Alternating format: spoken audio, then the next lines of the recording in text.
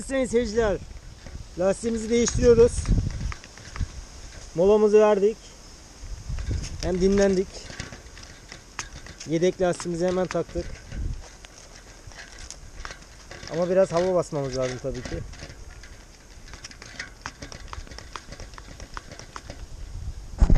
Görüyorsunuz çeşme başında lastik değişimi yapıyoruz. Ah ne günlere kaldık.